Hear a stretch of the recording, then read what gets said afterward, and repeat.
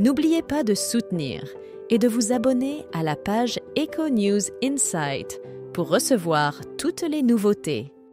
Noémie, révélée au grand public lors de la saison 17 de L'amour est dans le pré, n'avait pas trouvé l'amour à cette époque.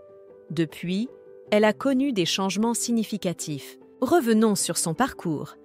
Elle avait fait son apparition dans l'émission face à Karine Le Marchand lors des portraits en 2022. À l'époque, Noémie, céréalière et éleveuse de vaches allaitantes en Bourgogne-Franche-Comté, avait 25 ans. Bien que souriante et solaire, elle avait révélé ne pas avoir eu immédiatement le coup de foudre pour son métier, ayant initialement suivi une formation d'aide-soignante. Après avoir travaillé dans un EHPAD sans trouver son épanouissement, Noémie avait rejoint l'exploitation familiale dirigée par son père et ses deux frères. Son passage dans l'amour et dans le pré avait également mis en lumière les défis qu'elle avait surmontés au cours de ses jeunes années, marqués par des moqueries liées à son physique et des relations amoureuses compliquées.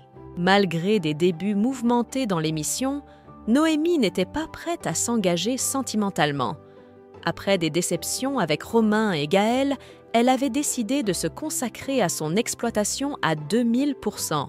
Cette transformation s'est traduite par beaucoup de travail, mais elle avait néanmoins avoué en août dernier avoir l'esprit occupé, sans entrer dans les détails de sa vie amoureuse naissante.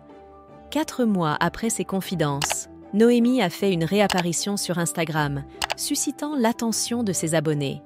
Exil à coupe blonde platine, elle arbore maintenant un carré brun légèrement ondulé qui met en valeur un visage apparemment plus affiné.